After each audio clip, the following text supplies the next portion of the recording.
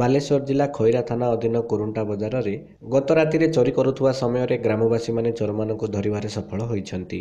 ଚୋରମାନେ ହେଲେ କୁରୁଣ୍ଟା ଆଦିବାସୀ ସାହିର ଶ୍ୟାମ ସୋରେନ ଚନ୍ଦୁରୁ ମରାଣ୍ଡି ବୁଦ୍ଧିରାମ କିସ୍କୋ ରମେଶ ମରାଣ୍ଡି ଏବଂ ବାସୁଦେବପୁର ଗ୍ରାମର ଲକ୍ଷ୍ମୀଧର ଜେନା।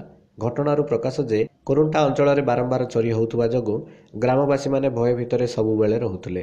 ଗତକାଲି ରାତିରେ ବଜାର ବନ୍ଦ କରି ଦୋକାନୀମାନେ ଘରକୁ ଯିବା ପରେ ଚୋରମାନେ ନିର୍ଭୟ ହୋଇ ବଜାରରେ ଥିବା ଦୋକାନଗୁଡ଼ିକୁ ଚାବି ଭାଙ୍ଗି ଚୋରି କରୁଥିବା ଜଣାପଡ଼ିଥିଲା।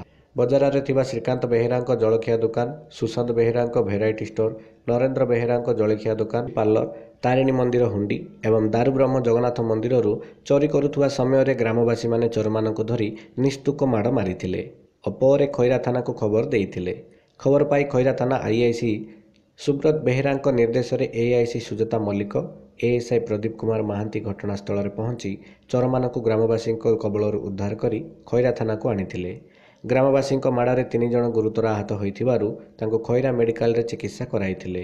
ଏନେଇ ଦୋକାନୀମାନେ ଥାନାରେ ଏକ ଲିଖିତ ଅଭିଯୋଗ ମଧ୍ୟ କରିଛନ୍ତି। ପୋଲିସ ଚୋରମାନଙ୍କୁ ଥାନାରେ ଅଟକ ରଖି ତଦନ୍ତ ଚଳାଇଛି। ବାଲେଶ୍ୱର ଜିଲ୍ଲା ଖଇରାରୁ ପ୍ରଫୁଲ୍ଲ ପଟ୍ଟନାୟକଙ୍କ ରିପୋର୍ଟ ଉତ୍କଳ ଖବର।